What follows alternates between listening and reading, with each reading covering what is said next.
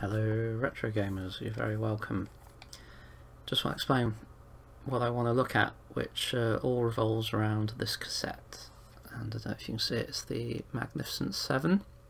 Um, Your Sinclair, it's a little bit fuzzy there.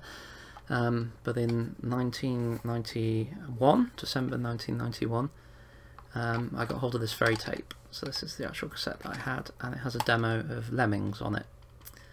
And it's just four four levels, and thus my love of Lemmings um, began, or with this very cassette. This is the original one that I had.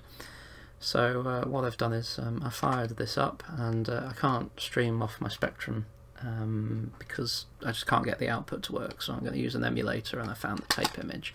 I'm just going to revisit those four levels.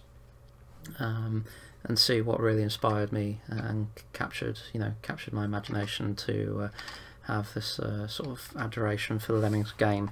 And here is the actual Spectrum release um, that I did in the end. It comes in a quite a small little box, um, but here it is. And this was the full price release, but it all happened, it all started with this very uh, demo cassette um, and most people would start on the 16-bit game probably with the ST or the Amiga, but I started on the Spectrum, which um, was a very impressive conversion for an underpowered machine. And it's quite funny that Lemmings ended up on 8-bit machines, 16-bit machines, and 32-bit machines if you count the PlayStation version as well. So um, I'm going to have a little playthrough of um, that demo, and uh, let's see what it's all about and remind ourselves. And I haven't played that demo probably for well, probably going back to the you know the early '90s when I had this tape. So it'll be fun to see what levels are included uh, and uh, have a trip down memory lane. Okay, so I'm running the Fuse emulator here, and I've got the tape image. So uh, I must admit I prefer using real hardware, but uh, this will have to do for recording purposes. Um, and bear in mind, I'll be using the keys here. I've not set up a joystick, uh, and that's actually probably the way that I actually played it at the time so getting used to the keys can be a bit of a headache.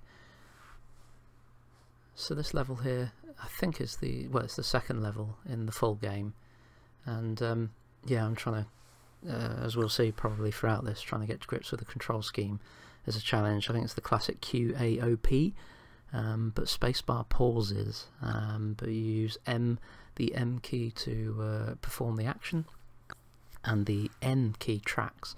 So every now and again I get confused and uh, I'm hitting the space key expecting to execute uh, the move but then end up pausing the game. Um, anyway, on the emulator, um, you know, I think you can use the number keys to correspond to, the skills as well as using Z and X. Um, so yeah, this is the first level.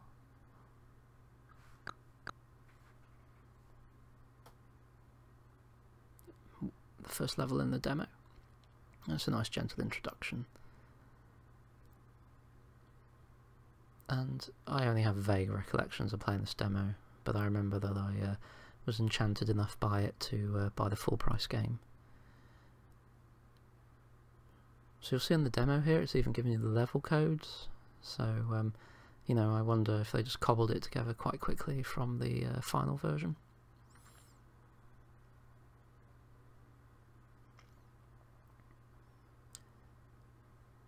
And then I think this is like the fifth level on the fun the fun levels. Um, but you can see the Spectrum, uh, I mean this is on the 48k machine, uh, it goes at a good pace. Uh, there I am screwing up with the control scheme, hitting space again. You can see in here that this uh, wall would only require one basher, but actually requires uh, two bashers because the space is not recognised as a solid object. So that's quite interesting.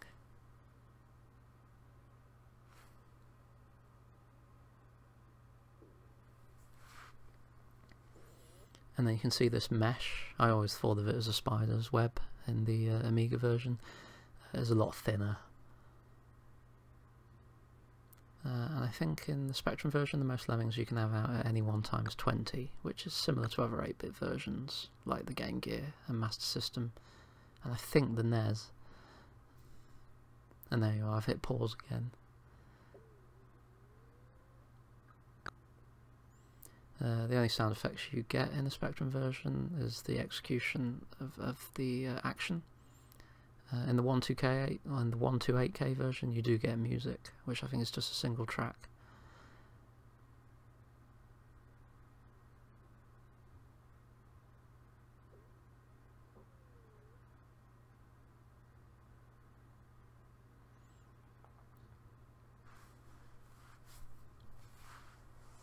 It's obviously two-tone, um, the map and characters, You've just got the black background and the uh, foreground and animation sprites are the same colour.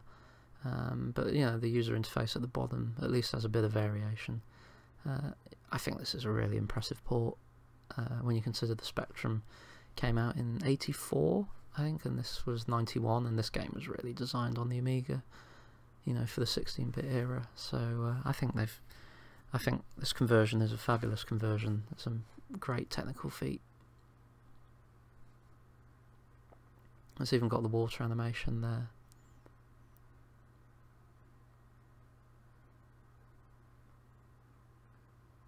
You know, and it scrolls, characters move, goes at a fair rate. In fact, I'd say the CDI version runs slower than this.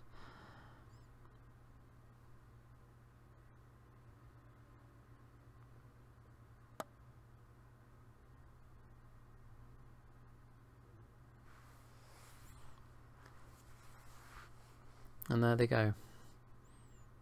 So that's another level down. So here uh, we all fall down. Um, th th this is where um, I really struggled.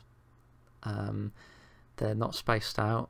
I think uh, when I played this on the 3DO the other day, um, they were spaced out. Uh, this might be because this is the harder difficulty version, um, but trying to one use the keyboard controls and um, yeah, it was it was really tricky.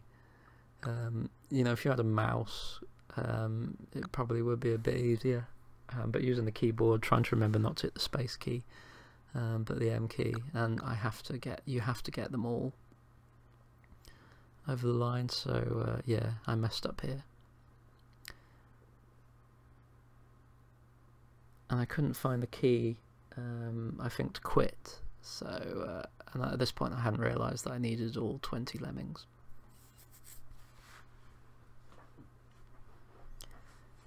So yeah, I had to do it again, and then of course, because I'm playing on an emulator and it's a tape image, so it's not like a, you know, like a binary file. Um, it wants to reload the level, and God, that brings back memories. So we'll see a bit of mucking about here.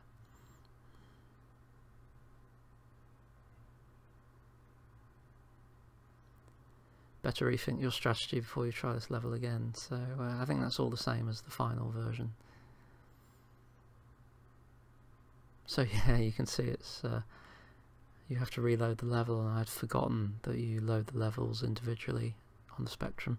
I think maybe on the 128K version, uh, on the full release, you don't have to do that as much.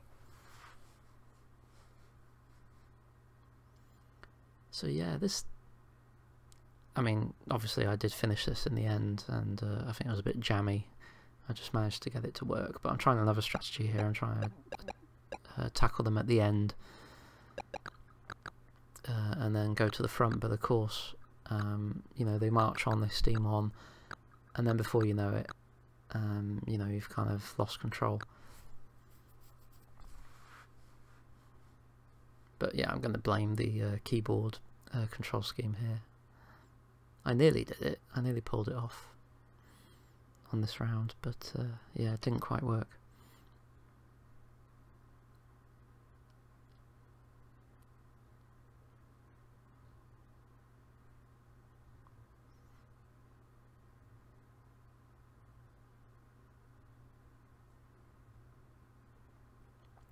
Again, we have to load the level. just forget this now on modern computers.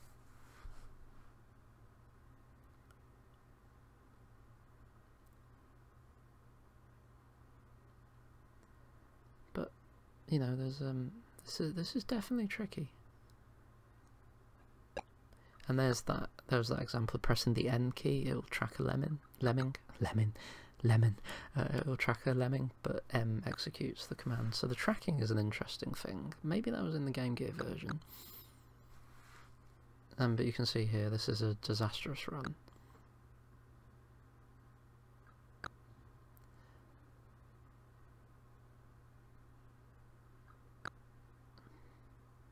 But all the levels are totally recognisable. You know, you can totally um, see what that level was in the 16-bit versions on the Amiga. You know, it's, it's, obviously compressed to fit the smaller resolution, but it's it, it's you know it, it's done real justice. What what a real marvel of programming uh, this conversion was.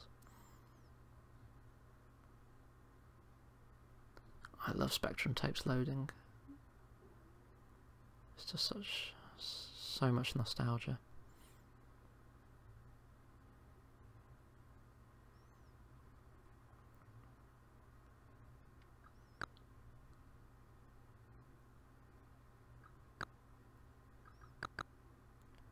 So yeah, this was, um,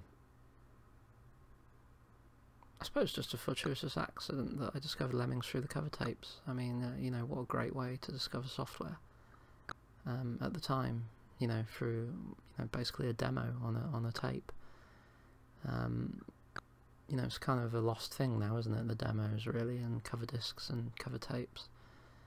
Um, but uh, you know it was one of the great ways of getting some free software because quite often you get some complete games. Um, but you got to try different things. And um, you know the spectrum you know you, could see there on the magnificent seven you had seven seven titles. Right I'd done it.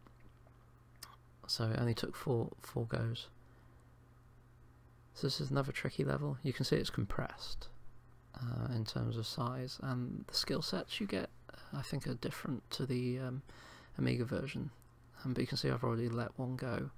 But here, yeah, I'm going to really struggle to uh, execute the commands in time, so I want to get a builder going and then put a blocker in. So uh, here I'm scrambling around the keyboard trying to change the skills, so immediately I want to switch to a blocker. And you can't move the cursor when you've paused, which is really frustrating. So I've got it under control there. And the uh, um, the builder's on his way.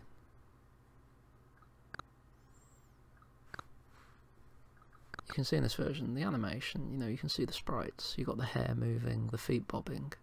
I mean, it's it's all there. It's a really solid conversion. I can't sing its praises enough. And, uh, you know, four levels was a great way to introduce you to the game and encourage you to buy it. So I've messed up there. So this isn't looking too good, is it? So how did I get myself out of this pickle?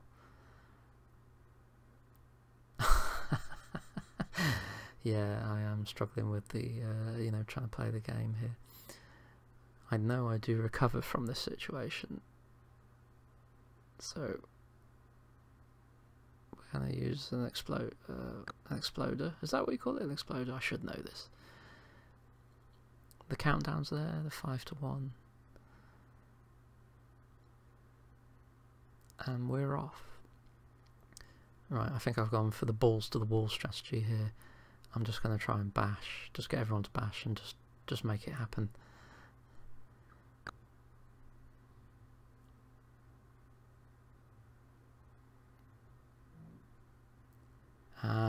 Yeah, I'm going to do the blocker here, because obviously I'm recording this commentary after the fact. So yeah, I think that's a tidy little strategy there. As soon as the character lands, ex execute the blocker, and it will do it on the right side for you. That seems to happen across all versions of Lemmings. So that's good, that worked. And the level should be clear, I should have enough.